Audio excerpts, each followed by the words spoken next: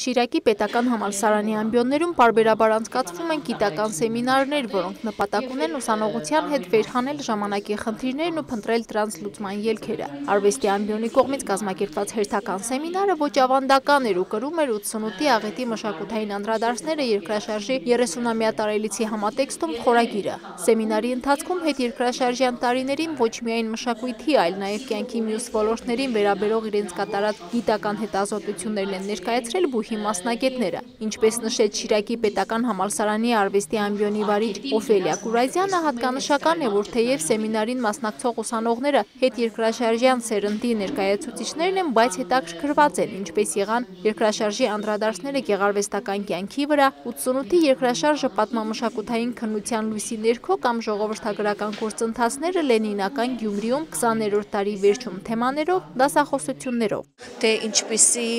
աղետ է, որը շարունակվում է մեր կյանքում արդեն ոչ թե բնական աղետի տեսքով, այլ դա է աշխատատեղերի կորուստը, դա է մարդկանց այսօր դեռ տնակներում ապրելը եւ այլն։ Ուզում եմ իմանաք, որ էթնո մշակութաբանները, էթնո հոգեբանները շատ կոնկրետ խնդրի շուրջ դիտարկումներ մեկ հոդվածի ձևով լինում է, բայց 30 տարի հետո կան ընդհանրացումներ, որոնց ուղագի կուզենամ այսօր ցես հպանցիկ ներկայացնել։ Խոսքը հարմարվողական մշակույթի մասին է